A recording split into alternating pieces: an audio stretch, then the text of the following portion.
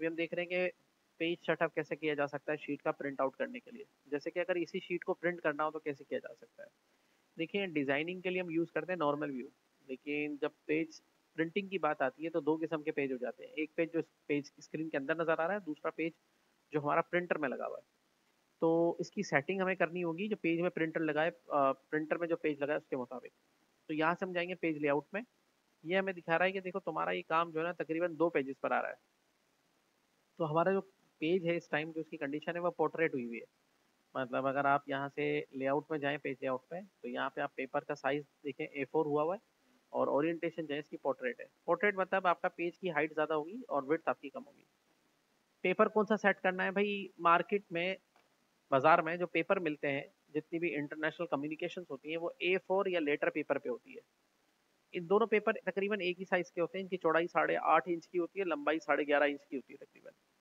और इनसे बड़ा जो पेपर होता है, जिसकी चौड़ाई तो सेम इंच जितनी होती है, साढ़े आठ इंच, लेकिन लंबाई इसकी हो जाती है चौदह इंच। और तो ये पेपर जो है, इससे बड़ा होता है। ठीक है? ये पेपर अक्सर स्टैम्प पेपर जो होता है ना, लीगल पेपर, उसके हवाले से इसका साइज़ है। तो अभी हम लेटर पे ही सेट कर लेते हैं अपने पेपर को। तो ये दिखा रहा है कि भाई ये तुम्हारा जो पेपर है, ये इस तरह से है। मतलब हमारी शीट तो बहुत बड़ी थी, लेकिन अब उसने जो हमारी शीट के टुकड़े किए, वो टुकड़े किए किसके हिसाब से? लेटर पेपर के हिसाब से। तो हमें सेटिंग भी इसी के हिसाब से करनी है। तो अभी हमारा एक लेटर पेपर पे ये हिस्सा प्रिंट होगा और दूसरे लेटर पेपर पे ये हिस्सा प्रिंट होगा। अच्छा इसके अलावा ये जो लेफ़्ट राइट टॉप और बॉटम देख रहे हैं आप, ये हिस्से इनको हम कहते हैं मार्जिन एरिया मार्जिन एरिया मतलब वो खाली एरियाज़ जिन पे प्रिंटिंग नहीं होगी। नैरो करेंगे तो ये देखें बिल्कुल मार्जिन ज़ीरो हो गए ठीक है, और अगर आप इसका नॉर्मल मार्जिन रहेंगे तो चारों तरफ़ से एक एक इंच का मार्जिन स्पेस रहेगा ज़्यादा मार्जिन छोड़ेंगे तो डेटा कम आएगा पेपर के ऊपर, कम मार्जिन छोड़ेंगे तो डेटा ज़्यादा आएगा।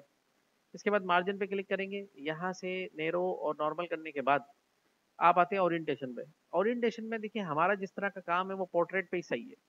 हाँ अगर हमारे कॉलम्स ज़्यादा होते हैं शीट पे तो दूसरे पेज पे आ रहे थे तो हम उसको लैंडस्केप करते हैं तो हमारे पेपर की चौड़ाई ज़्यादा हो जाती है और हाइट उसकी कम हो जाती तो यहाँ पे इस तरह से सेट है। तो ये जब प्रिंट करेंगे हम इसको तो हमने देख लिया प्रिंट करने के लिए फ़ाइल में जाएँगे और क्लिक करेंगे प्रिंट के ऊपर। और प्रिंट पे हमने कहा कि भाई ठीक है, ऐसे ही प्रिंट कर लो, लेकिन मुझे लेफ़्ट मार्जिन थोड़ा ज़्यादा चाहिए। तो मार्जिन में जाके कस्टम मार्जिन कर लें। अब कितना ज़्यादा चाहिए? लेफ़्ट वाला मार्जिन हमने कहा एक इंच का लेफ़्ट चाहिए। राइट वाला पॉइंट फाइव इंच का चाहिए। पॉइंट फाइव का मतलब आधा। टॉप से कितना चाहिए? मैंने कहा पॉइंट फाइव एक इंच कर लो। और बॉटम में कितना चाहिए? पॉइंट फाइव और ओके कर दिया। तो आप देखेंगे आप प्रिंट करते वक्त कि लेफ़्ट इंच पे जो प्रिंट होगा तो एक इंच का मार्जिन छोड़ के ये प्रिंट करेगा इसको। और राइट पे इस तरह से प्रिंट करेगा। और अगर आपको सेंटर में चाहिए डेटा मतलब यहाँ मार्जिन छोड़े, यहाँ मार्जिन छोड़े और सेंटर में डेटा ले तो यहाँ से भी जा सकते हैं पेज सेटअप में और वहाँ से भी जा सकते हैं। मार्जिन में जाएँगे वहीं पे उसी जगह पे और यहाँ से करेंगे हॉरिजेंटल सेंटर ओके करेंगे। तो आप देखेंगे दोनों साइड से डेटा सेंटर में प्रिंट होगा।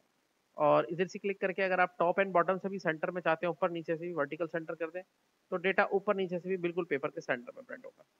प्रिंट करने के लिए क्या करना पड़ेगा? यहाँ से अपना प्रिंटर जो आपका कनेक्टेड प्रिंटर है मतलब एचपी का हो सकता है एफसन का हो सकता है कैनन का हो सकता है। प्रिंटर आपके कंप्यूटर के साथ यूएसबी पोर्ट के साथ कनेक्ट होना चाहिए। पावर ऑन होना चाहिए, उसमें पेज लगे हुए होने चाहिए। प्रिंटर का नाम यहाँ नज़र आएगा, उसको चूज़ करेंगे और चूज़ करके अगर सिर्फ़ यही पेज प्रिंट करना है तो यहाँ से कहेंगे वन वन मतलब पहला पेज प्रिंट करना है। अगर आपको दूसरा पेज प्रिंट करना है, यानी कि ये वाला तो उस पर कहेंगे टू टू तो सिर्फ़ ये ये वाला पेज प्रिंट होगा। और आपको पहला और दूसरा दोनों प्रिंट करना है तो वन और यहाँ लेंगे टू पहला और दूसरा। इस तरह पहला, तीसरा पहला से लेके पांचवा इस तरह के जितने पेजेस चाहें आप उसको से प्रिंट की कमांड कहाँ से एग्जीक्यूट करेंगे? प्रिंट से। तो वो पेपर को ऑटोमेटिकली प्रिंट कर देगा। अगर मिसाल के तौर पे इसकी दो दो कॉपीज प्रिंट करनी है तो यहाँ पे दो कर देंगे। जैसे प्रिंट देंगे तो पहले पेज की भी दो कॉपी प्रिंट होंगी और दूसरे पेज की भी दो कॉपी प्रिंट होंगी। तीन करनी है तो पहले पेज की भी तीन कॉपी प्रिंट होंगी और दूसरे पेज की भी तीन कॉपी प्रिंट होंगी। और अगर अब देंगे तो सिर्फ़ पहले पेज की ही तीन कॉपीज प्रिंट होगी। कमांड हमेशा यहाँ से एग्जीक्यूट करनी है। तो इस तरह से आप इसको इजीली प्रिंट कर सकते हैं पेज को सेटअप करके। हाँ। इसमें कॉलम्स नहीं होंगे, इसमें पेज होगा। पेज तो यही होंगे।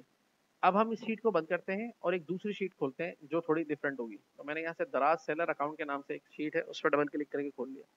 ये शीट दिखने में ऐसी थी नॉर्मल व्यू के अंदर, ठीक है? यहाँ से हम पेज लेआउट में गए तो हमें पता चला कि ये शीट हमारे पेपर के ऊपर इस तरह से नज़र आ रही है। बाय डिफ़ॉल्ट कोई भी शीट के मार्जिन नॉर्मल होते हैं ओरिएंटेशन पोर्ट्रेट होती है और पेपर उसका लेटर सेट होता है।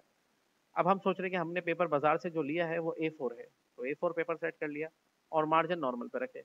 तो हमारी शीट इस तरह से दो पेजेस से प्रिंट होगी। एक पेज इस पर और एक पेज इस पर अब चूँकि हमारी शीट के कॉलम ज़्यादा हैं तो हम अपनी ओरिएंटेशन चेंज कर सकते हैं। इस पर क्लिक करेंगे ओरिएंटेशन अब मेरे पेपर की जो हाइट थी, वो विड्थ में कन्वर्ट हो गई और जो विड्थ थी हाइट में कन्वर्ट हो गई। लेकिन उसके बावजूद भी दो कॉलम अगले पेज पे आ रहे हैं। यहाँ पे एक दूसरी ट्रिक अप्लाई कर सकते हैं कि अगर कॉलम को छोटा बड़ा करें, उससे भी एडजस्ट हो जाती है। लेकिन कॉलम ऑलरेडी सेट है, फिर क्या करें? डेटा को मैक्रो कर दें मैक्रो करने के लिए स्केल पर जाएँगे इसको कम करेंगे। यूजुअली 100 परसेंट का स्केल होता है और उसको कम करेंगे और ये कम करके ऐसे सेट कर लेगा और उसके बाद अब आप यहाँ से प्रिंट कर सकेंगे। मार्जिन आप कम ज़्यादा करना चाहें कस्टम मार्जिन में चले जाएँ। जैसे लेफ़्ट मार्जिन 1.8 है तो मैंने कहा भाई मुझे इस टाइम में लेफ़्ट मार्जिन कम चाहिए तो 0.5 0.5 कर दिया। टॉप मार्जिन ज़्यादा चाहिए तो यहाँ पे मैंने वन कर दिया और बॉटम मार्जिन भी थोड़ा सा कम करके 0.5 कर दिया। जैसे ओके किया तो ये देखें, वैसे ही काफ़ी स्पेस निकल आया। अब जब स्पेस निकल आया है तो इसको स्केल एटी परसेंट करने की ज़रूरत नहीं है, बल्कि इसको बढ़ा के आप आगे तक ले आए। हंड्रेड पे अगले पेज पे जा रहा है तो नाइन्टी पे रख लें। इस तरह से दोनों साइड कवर हो जाएँगी।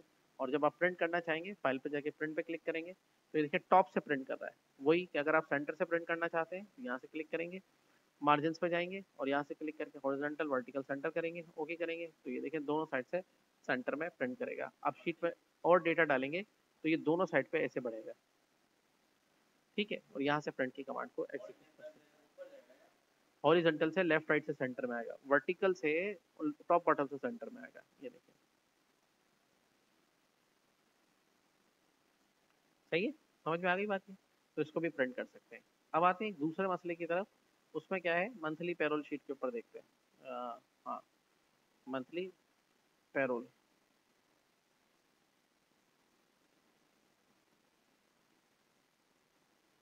monthly payroll sheet में क्या हो रहा है कि इस शीट में डेटा कुछ ज़्यादा है। मिसाल के तौर पर शीट में डेटा कितना ज़्यादा है, एक मिनट देखते हैं ज़रा।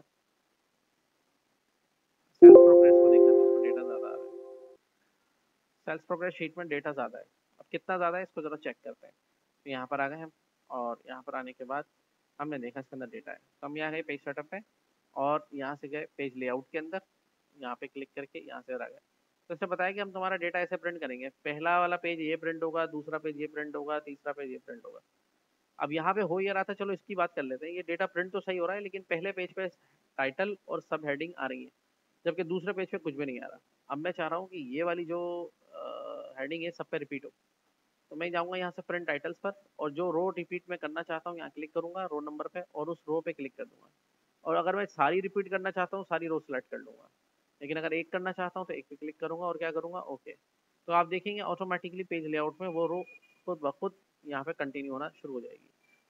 अब यहाँ पर आपने करना ये है कि नॉर्मल व्यू में ऐसा नहीं होगा। नॉर्मल व्यू में सिंगल दिखाई देगा, जबकि पेज लेआउट में आपको ऐसे दिखाई देगा।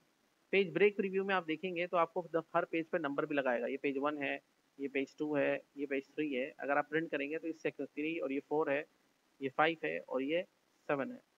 तो यहाँ पर अगर हम एक कॉलम को और डिलीट करें, सपोज़ टू भी इसको इसके साथ ले आते हैं, डिलीट और इंटायर कॉलम करते हैं, और यहाँ पे से थोड़ा सा इसको आगे कर लेते हैं, इस तरीके से सेट हो गया, और यहाँ पे से ये दो कॉलम डिलीट दो तो नहीं डिलीट करते, इसको थोड़े छोटे कर लेते हैं कॉलम्स को, और यहाँ पे भी कम कर लेते हैं इसको कॉलम को। तो ये देखिए, ये दोनों एक पेज पे प्रिंट होने के लिए तैयार है। आप प्रिंट कैसे करेंगे, इसको फ़ाइल में जाएँगे, क्लिक करेंगे, प्रिंट के ऊपर, प्रिंट पे से आप देंगे पहला पेज, दूसरा पेज, तीसरा पेज तो यहाँ आप लिखेंगे वन और कॉमा थ्री और उसके बाद यहाँ से प्रिंटर चूज़ करेंगे अपना, एक एक कॉपी लेनी है, इस पर रखेंगे और प्रिंट की कमांड दे देंगे। तो इस तरह प्रिंट हो जाएगा और अगर पेज नंबर फोर को प्रिंट करना है तो प्रिंट में जाएँगे, यहाँ पे लिखेंगे four to four page number four print करना है, यहाँ पे देख लें पेज नंबर फोर पर डेटा सही है सही है तो यहाँ से प्रिंट की कमांड दे देंगे तो पेज नंबर फोर प्रिंट देंगे तो इस तरह आप एक्सेल पे अपनी शीट को सेट करके प्रिंट आउट वगैरह इजीली निकाल सकते हैं।